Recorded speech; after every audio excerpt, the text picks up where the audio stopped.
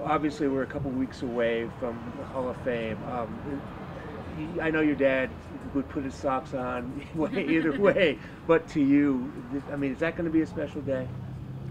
Uh, for us, you know, that um, to be there to represent him uh, will certainly be an honor if that is in fact the case.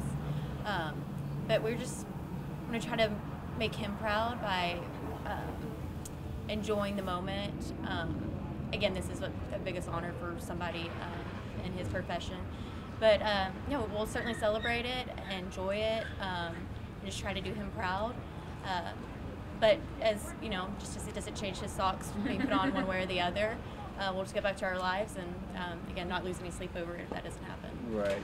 And for you, I mean, obviously, dad, but you've learned so much about him and, and what his effect he had on so many people. That has to be special now. It's very special. Uh, perhaps the only positive thing to come out of losing dad was to learn how beloved he was, what an impact he had on people, um, and to also have reinforced the fact that it wasn't just us that he treated so kindly and with such warmth and generosity, but it was truly everyone he met. Um, and six months later, truly now after he's passed, we still receive messages every day expressing what a amazing person he was. Um, so yes, losing him has been super difficult, and that is such an understatement. But um, hearing from his fans has been wonderful. Right. And the, you guys basically have a, a second family with the Raider Nation, right? I We do, we do. They're amazing. Um, yeah, we, we, we have huge new family. Um, they've always been family, but the dad always loved his fans. Right. I mean, he regarded them the highest degree. He, uh, we now see why, because uh, they're just incredible people that just love football, loved him, and um, they're hardworking and just, just great, great people.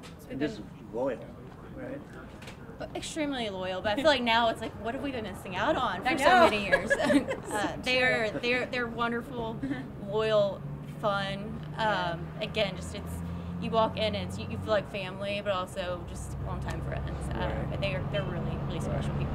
And, and last question, I know this is bitter. This is going to be bittersweet for you guys, but it's going to be so uh, special for that fan base to for their closure. I think. I mean, you guys feeling that too? Oh like- yeah, absolutely. We, we wish that, that our dad was here because they deserve to hear him speak and tell the stories and shake hands and um, it, will be great for them. I know because they've been pushing not just recently but for since he was eligible. So uh, it, it will. I, I'm so happy for them if it